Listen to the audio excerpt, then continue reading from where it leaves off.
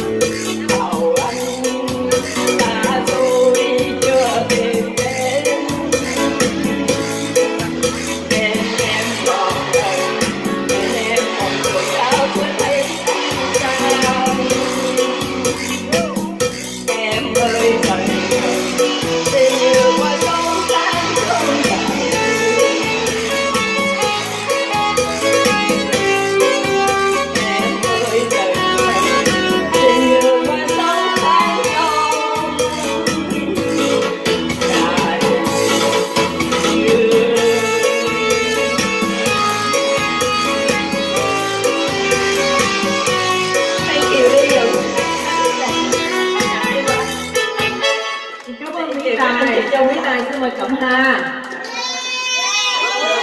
Cẩm hà sẽ là minh tuấn.